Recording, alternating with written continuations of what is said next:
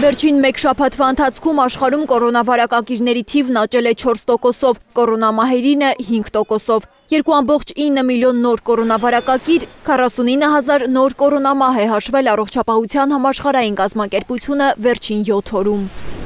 Մահերի սահմրկեցուցիչ թվերը Եվրոպայում հարավարևելյան Ասիայում են։ Մեծ Բրիտանիայում, Միացյալ Նահանգներում, Ռուսաստանում, Թուրքիայում ու Ուկրաինայում այս շաբաթ Կայծակնային արագությամբ տարածվել է կորոնավիրուսի դելտա շտամը։ Լոս Անջելեսում մարդիկ այլևս չեն կարող հանրային փակ տարածքներ մտնել առանց դիմակի։ Դիմակը պարտադիր է նույնիսկ պատվաստված քաղաքացիների համար։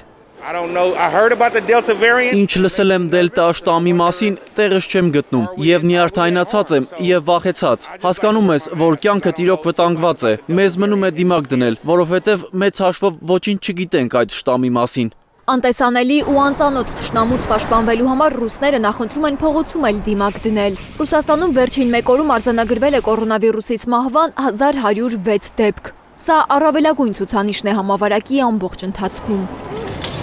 Մոսկվայում երեք օր է տնային կալանքի տակ են չպատվաստված թոշակառուները, քրոնիկ հիվանդները։